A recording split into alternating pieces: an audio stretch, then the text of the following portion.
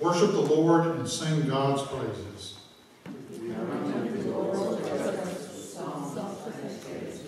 Make a joyful noise for the rock of our salvation.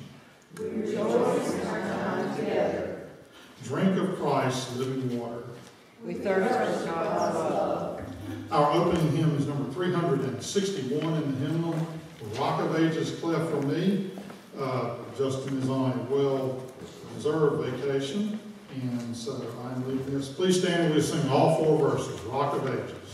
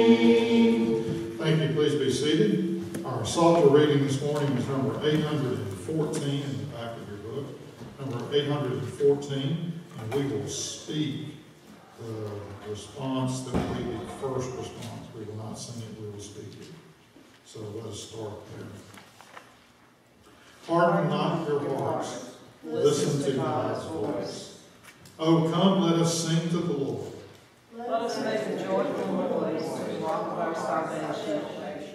Let us come into God's presence with thanksgiving. Let us make a joyful noise with songs of praise. For the Lord is a great God and a great ruler above all gods, in whose hands are the depths of the earth and also the heights of the mountains. The sea belongs to God who made and the dry land God God formed it. Harden not your hearts, listen to God's voice. Oh, come, let us worship and bow down. Let us kneel before the Lord our Maker. For the Lord is our God. We are the people of God's pasture, the sheep of God's hand. Hear the voice of the Lord today. Harden not your hearts as at Meribah, as on the day of at Massah in the wilderness, when your forebears tested me and put me to the proof, though they had seen my work. For forty years I loathed that generation, and They are people who hear in hard heart, and they do not regard my ways. Therefore I swore in anger that they should not my ways. Harden not your hearts. Listen to God's voice. Please join me in the opening prayer.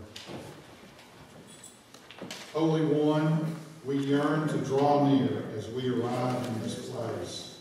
We come to calm our hearts, soothe our fears, and deepen our faith. As the Samaritan woman before us, help us draw cool water from the well of your love, and help us lead with the living water of believing through the power of your Holy Spirit. Amen.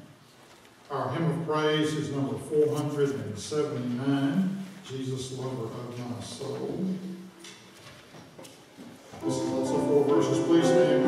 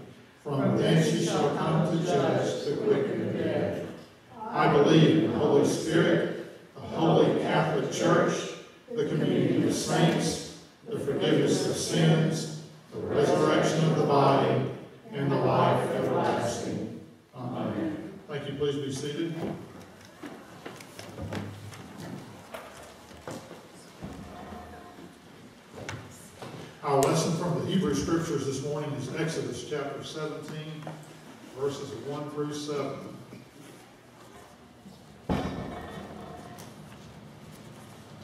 Water from the rock.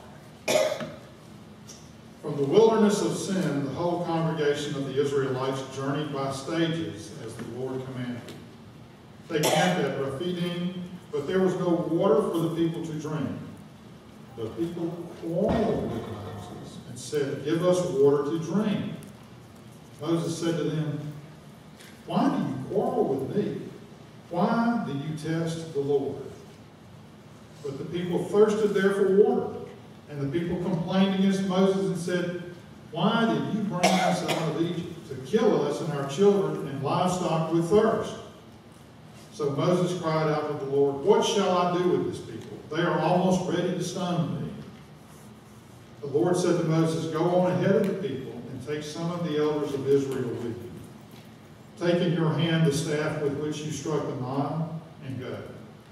I will be standing there in front of you on the rock at Horeb.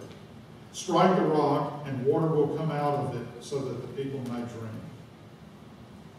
Moses did so in the sight of the elders of Israel.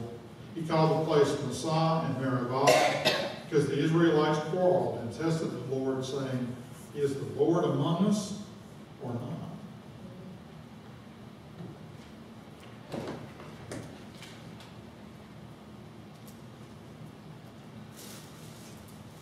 Well, good morning. Good morning. Okay. Um, just to just to let y'all know that we each week we do a different Bible verse, and this week I just love the Bible verse um, because it reminds us. It comes from Hebrews, and it reminds us that God that our prayers don't go unanswered or unheard. Um, let us then approach God's throne of grace with confidence, so that we may receive mercy and find grace to help us in our time of need. So let's go to the Lord in prayer. Well, gracious God, we come to you today praising you for all of your many blessings that we've endured throughout the week, Lord.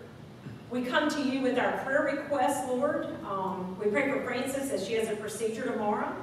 We pray for Miss uh, Carolyn, who's had, I think, lost three family members to be with their family and their loss, as well as Reverend Outlaw's family. Uh, and those that uh, lost a loved one in the shooting last night, as well as uh, whoever was involved in the wreck that uh, Jane told us about, and also uh, the loss of Quentin's uh, brother, that we need to pray for their family, Lord. So we just lift all of these up. And at this time, let's just take a couple of minutes of silence and let's just ask God to forgive us and, and just to bring our personal prayers to Him.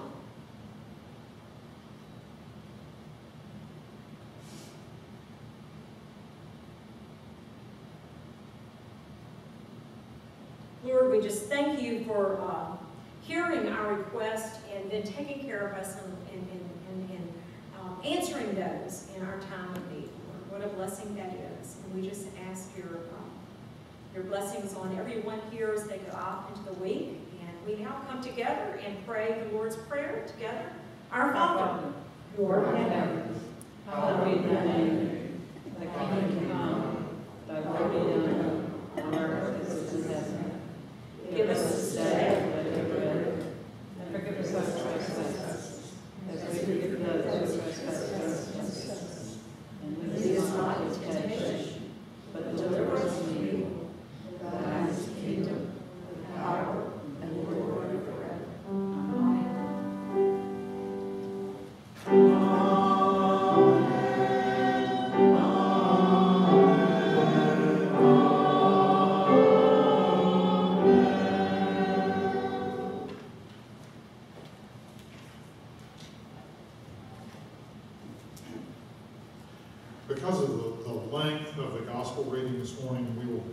seated.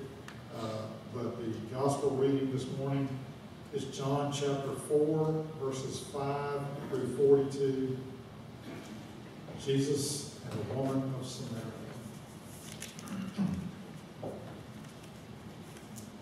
So he came to a Samaritan city called Sychar, near the plot of ground that Jacob had given to his son Joseph. Jacob's well was there, and Jesus, tired out by his journey, was sitting by the well. It was about noon.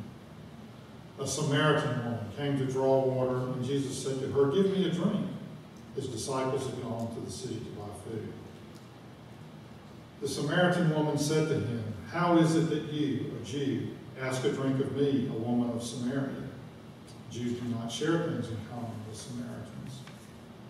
Jesus answered her, If you knew the gift of God and who it is that is saying to you, Give me a drink, you would have asked him, and he would have given you living water.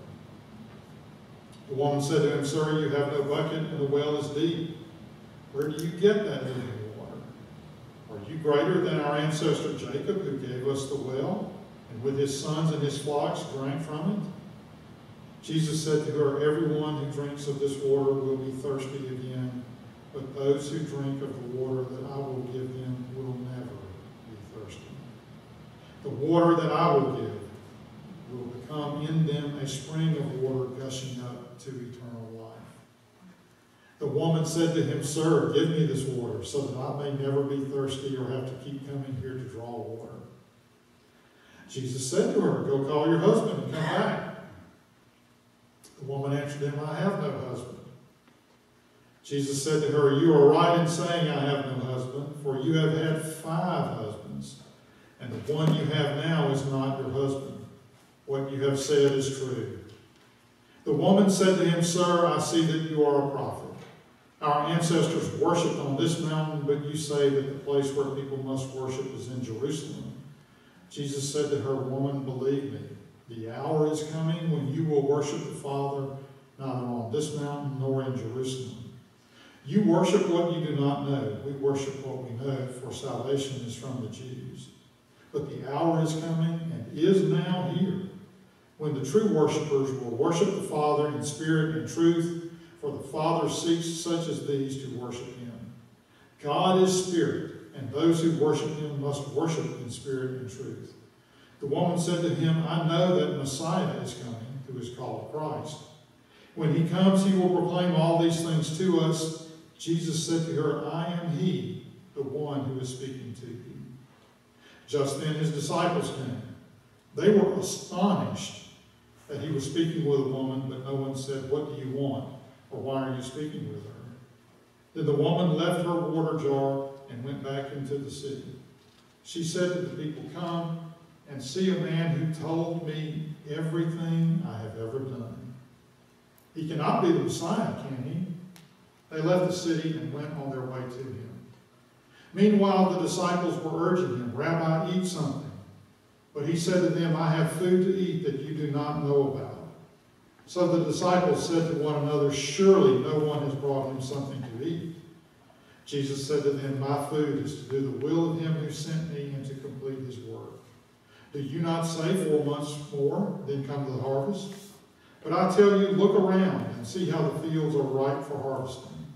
The reaper is already receiving wages and is gathering fruit for eternal life, so that sower and reaper may rejoice together. For here the saying holds true one sows and another reaps. I sent you to reap that for which you did not labor. Others have labored, and you have entered into their labor. Many Samaritans from that city believed in him because of the woman's testimony. He told me everything I have ever done. So when the Samaritans came to him, they asked him to stay with them, and he stayed there two days. And many more believed because of his word. They said to the woman, It is no longer because of what you said that we believe, for we have heard for ourselves, and we know that this is truly the Savior of the world. This is the word of God, read for the people of God. Thanks be to God.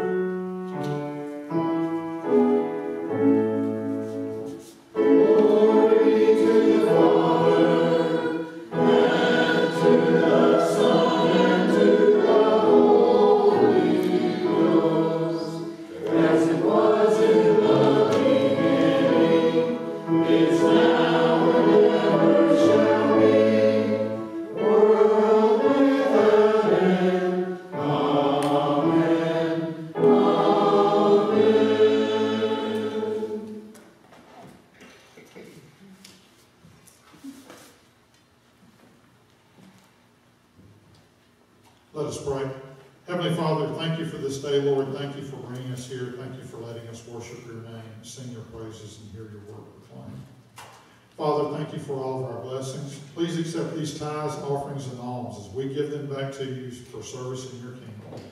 These things we ask in Christ's name.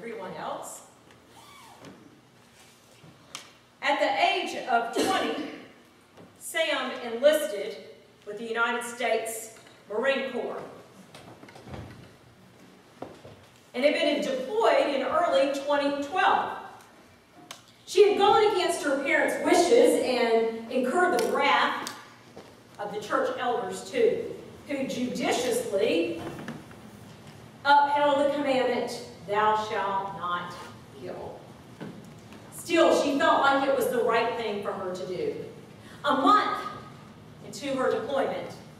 An IED had detonated under her vehicle, and she returned to the States with one less leg than she went with. And that's why people stared at her. They stared as if she was an entirely different entity. She wasn't quite human. Because after all, didn't everybody that was normal have two legs? After a while, she got tired. She got frustrated with the stares that people continued to give her. The parents who quickly ushered their children away with the apologies when they kind of looked in embarrassment when the kids asked too many questions about her leg.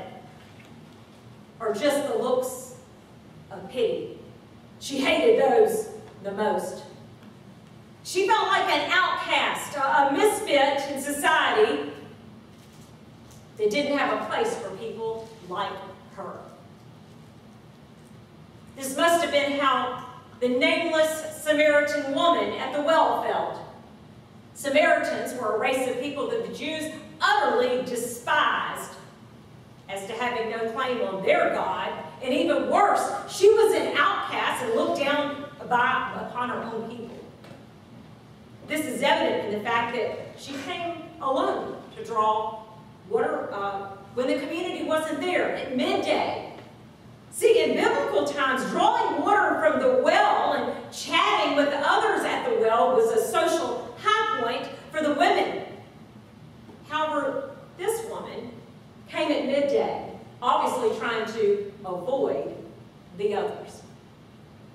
The story opens with Jesus heading back to Galilee from Jerusalem.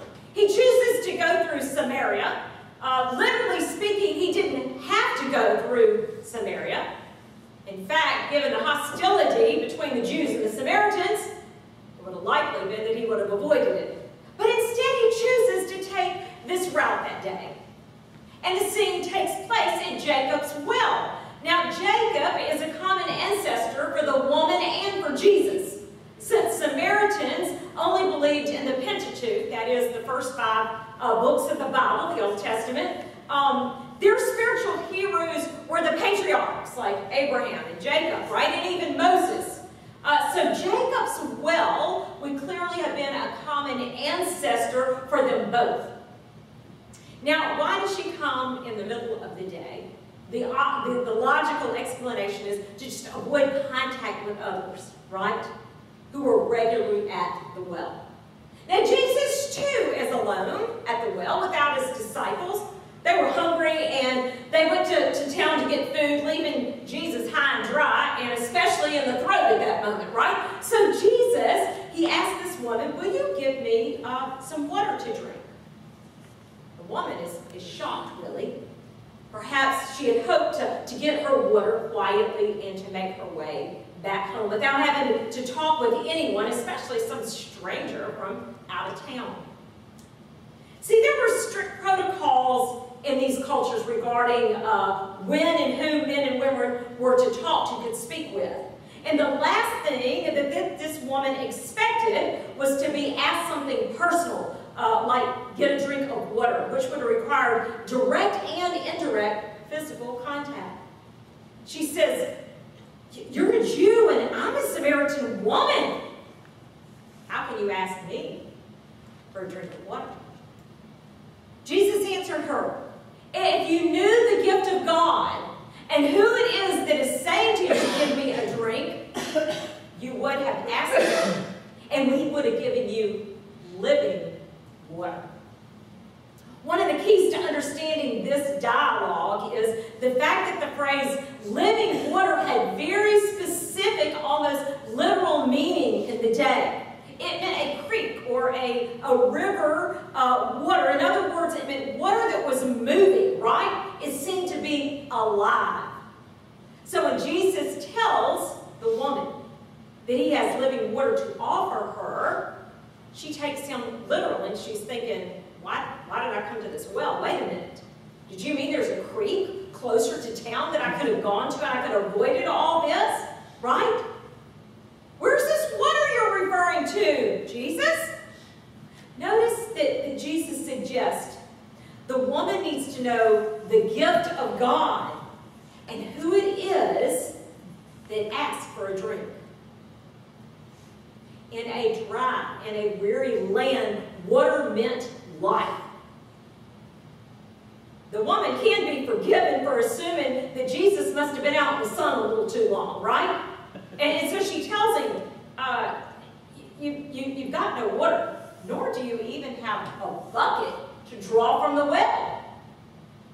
So where in the world are you getting this moving and living water you're referring to? So still confused, she says, are you greater than Father Jacob, who gave us the well? And he, he, he drank from it himself, and he also brought his sons and his livestock too. Jesus' response is that the water that he gives is categorically different. It is the ultimate thirst quencher. One will never be thirsty again. We must remember that the water literally means life, right? It means that then, and it means that us today. And here, uh, the water uh, means metaphorically everlasting life. But sadly, like Nicodemus, the woman still does not get it. She doesn't understand that Jesus is speaking to her on a non-literal level. And then the dialogue takes this sudden turn, right? When Jesus, out of the blue, he tells the woman to go back to town, call her husband, and come back again. And her reply is honest. But it does not tell the whole story, right? Jesus, who knows what's in one's heart, says you are right when you say you have no husband. The fact is, you've had five husbands, and the man you're with now is not your husband. One can only imagine that her eyes get huge and she blurts out, he must be a prophet, right? He knows all this about her.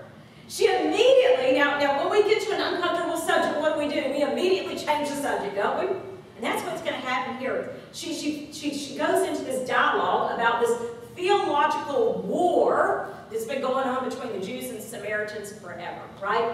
The Samaritans believed in one God, but precisely because they had the Pentateuch as their scripture. Uh, they believed in one holy mountain, too. Not Mount Zion, Mount Gerizim. Now, um, they thought that Mount Gerizim was the site that uh, Abraham was about to sacrifice Isaac. And that's one of the reasons. Um, the other is they believed that the first temple was built there. Um, and they claimed that Moses told them to protect Mount Gerizim and to worship on it. Now, just interestingly enough, today there still are about 800 Samaritans. They're very low in number. Um, they all live somewhere near Mount Gerizim, at the base of it or in that surrounding uh, area. And they are, to my knowledge, the only practicing group that celebrates Passover and still slaughters at least a lamb. Now, see, though, as we get back to the story, we, we, we see this battle of this sacred place of worship It's, that's kind of an ongoing fight, right? But here we see that Jesus is pointing her away from the place, explaining, yes, salvation does come from the Jews. I, I'm the one, I'm standing here in front of you, right here. He's the Messiah, standing right there in front of her. And Jesus says, but true worship is not about finding a proper, sacred place, but rather a way of worship in spirit and in truth. True worship evokes a lively presence of God Himself. It invokes the conveyance of truth. It is a place where our head and our heart both engage in praise and adoration for our Savior and our Maker. Again, the, the, the, the scene shifts, right? And the disciples return, taking out their lunches. They can hardly believe their eyes, and they wonder why Jesus is talking to a Samaritan, a woman, and an outcast in society. Who are outcasts in society today?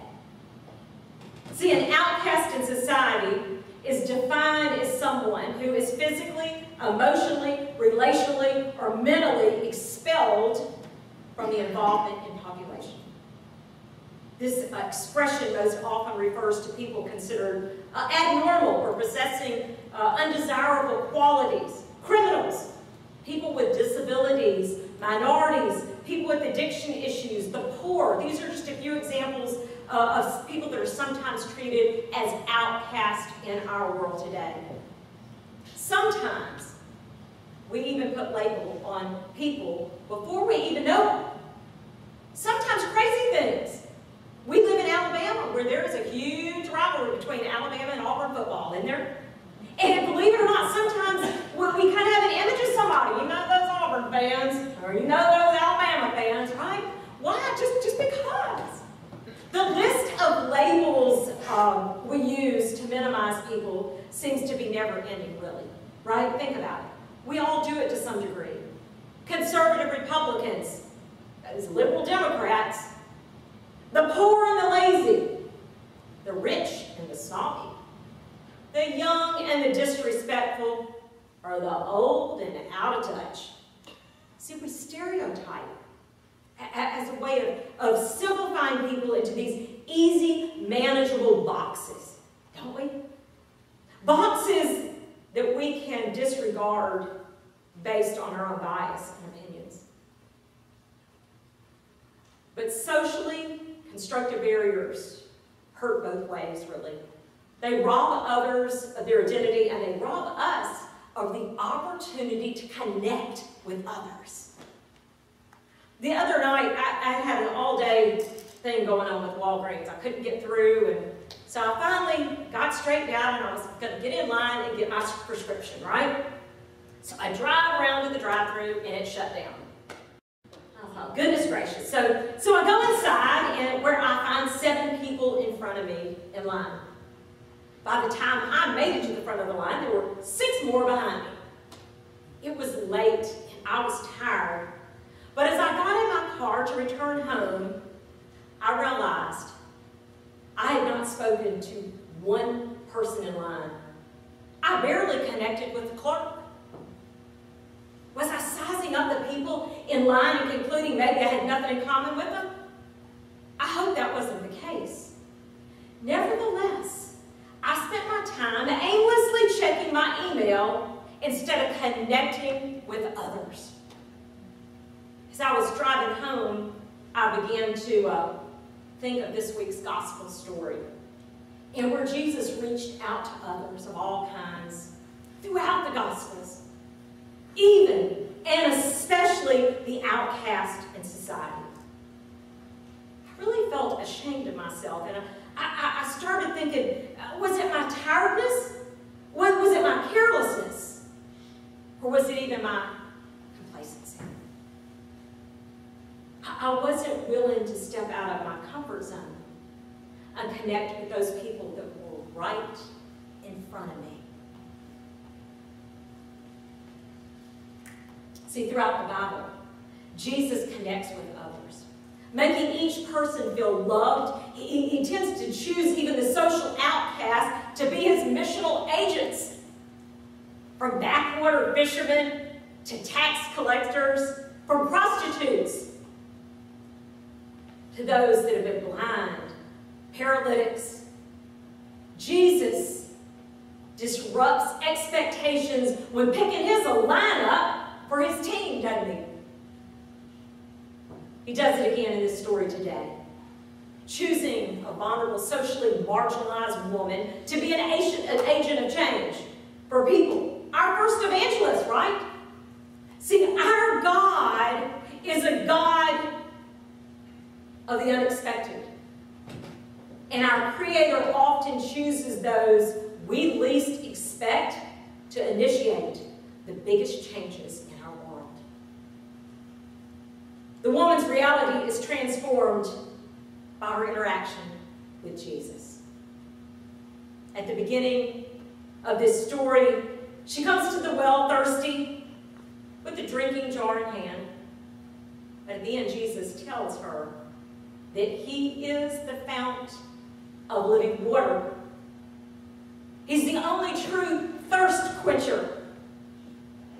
and the only one that can provide a wellspring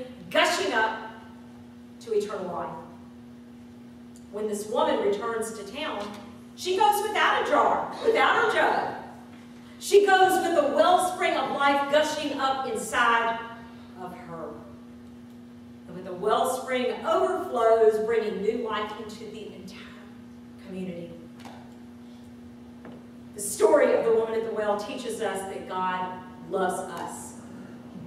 In spite of our bankrupt lives, God values us enough to actively seek us, to welcome us into intimacy, and to rejoice in our worship. As a result of Jonah's conversation, only a person, like, like the Samaritan woman, an outcast from her own people, could understand what this means to be wanted, to be cared for, when no one, not even herself, could see anything of value in her. And this is grace indeed. Like the disciples in the story, we often scratch our heads and we wonder what God is doing, even as it's happening before our very eyes. We often put labels on people before we even know them.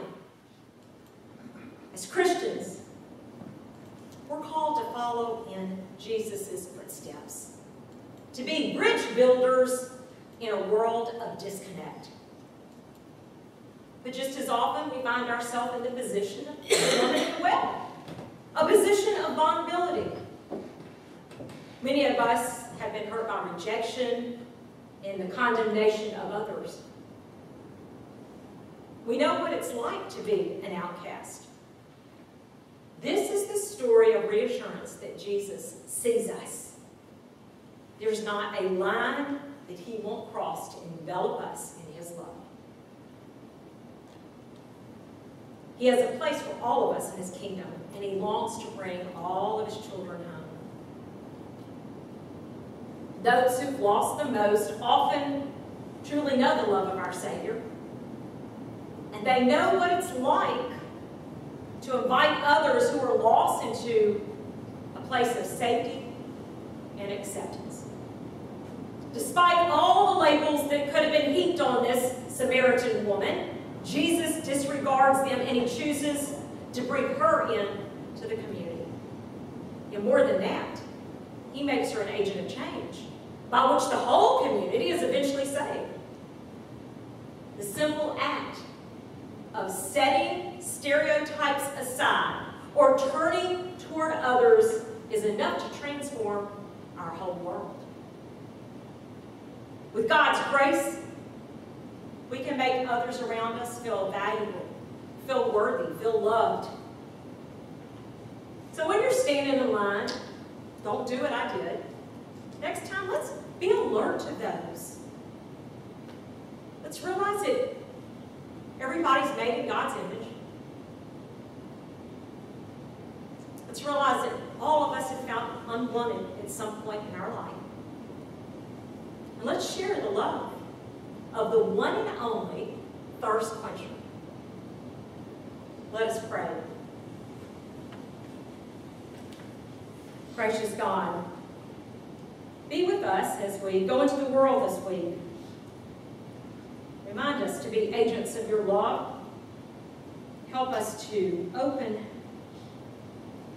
ourselves up to others, to connect with others, and to share the good news that we've heard.